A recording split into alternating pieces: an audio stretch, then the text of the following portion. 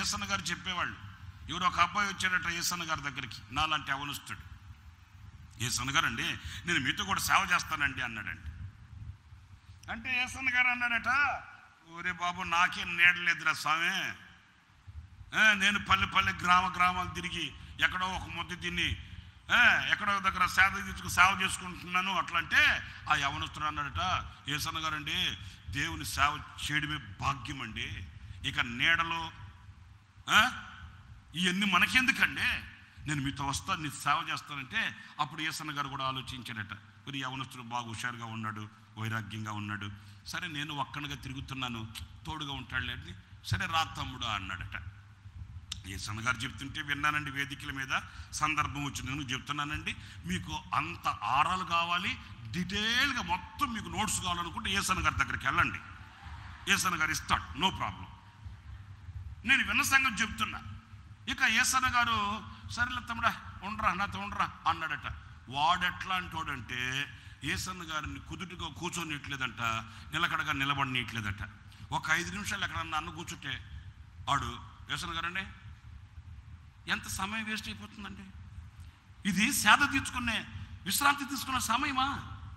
ఈ సమయంలో ఒక వ్యక్తికి స్వార్థ చెప్తే ఎంత బాగుండే మాట ఇక ఏసన్న గారు అనుకున్నాడట నాయన నన్ను పరిశుద్ధపరచడానికి ఇన్ని పెట్టావా ప్రభువా?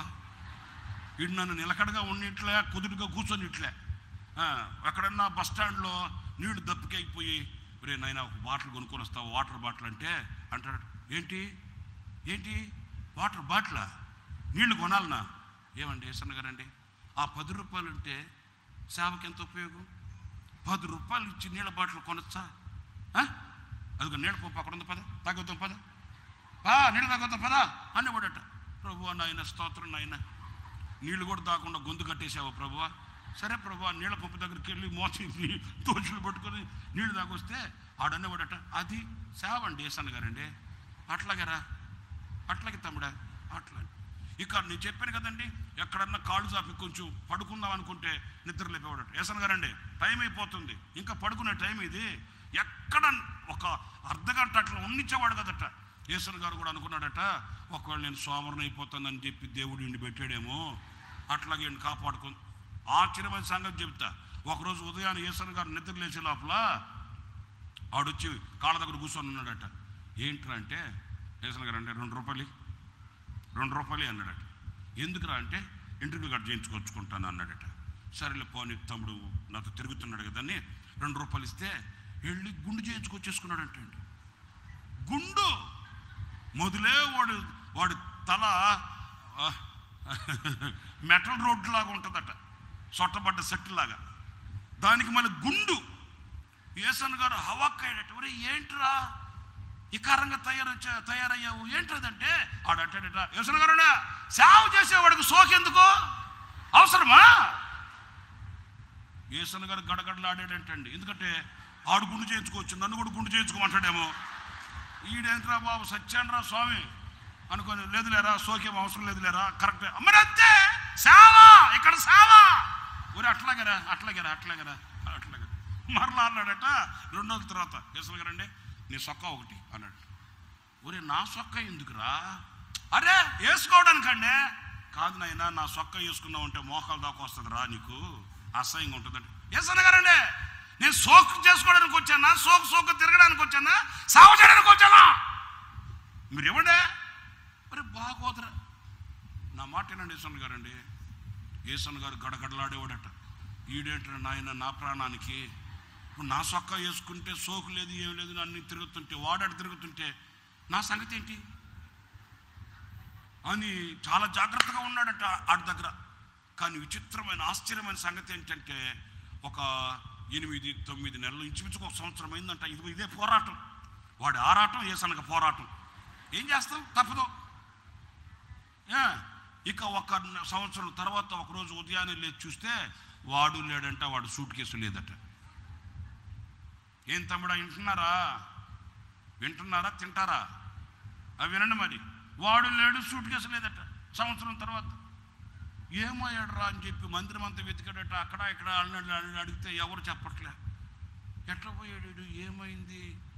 అని వాళ్ళు ఊరు తెలిసట ఈసన్ గారికి ఏట్రా బాబు వాళ్ళ అమ్మ నాన్నగారు అడిగితే నేను ఏం చెప్పాలేంటి ఏంటా మా బిడ్డ మీ దగ్గర ఉన్నాడు అనుకున్నాము. వాడు లేడంటే ఎక్కడికి వెళ్ళాడు? ఏంటంటే వాళ్ళు ఏం చెప్తారు? నేనేం చెప్పాలా? ఇదే కర్మరా నాయన.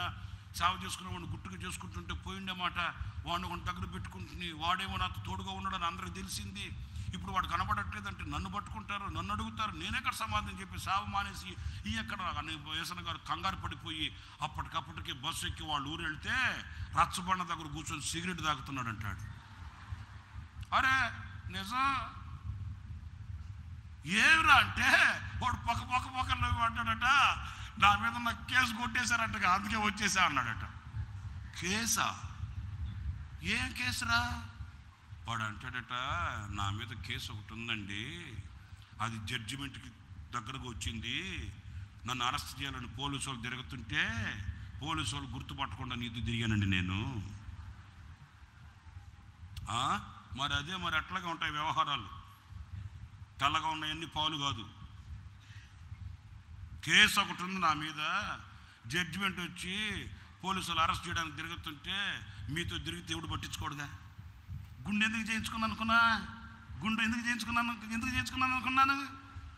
నీ సొక్క పొడుగోటు సొక్క. అయినా ఎందుకు వేసుకుని దిగాను అనుకున్నా? గుండు చేయించుకొని మీ సొక్క వేసుకొని బైబుల్ పట్టుకొని తిరుగుతుంటే పోలీసుల ముందు తిరుగుతున్నా కూడా పట్టించుకోలే వాళ్ళు. ఓరి నాటకాలు మారుడా. వీడు చూసారండి ఇదిగో ఇలా ఉన్నాయి కుయుక్తులు ఉన్నాయి. మీకు అర్థమైందా? అందుకే యేసుప్రభు ఏం చెప్పాడంటే నన్ను వెంబడించాలంటే నీకున్న ఆధారం ఉన్న ఆధారంగా ఉన్నాయే. వాటినన్నింటిని ఏం చేయాలి? చెప్పరేంటి? ఏం చేయాలి? విడవాలి విడిస్తే నువ్వు నన్ను వెంబడిస్తే ఆ పరలోక సంబంధమైన ధనాన్ని కూర్చుకో. అది నీకు శ్రేష్టమైన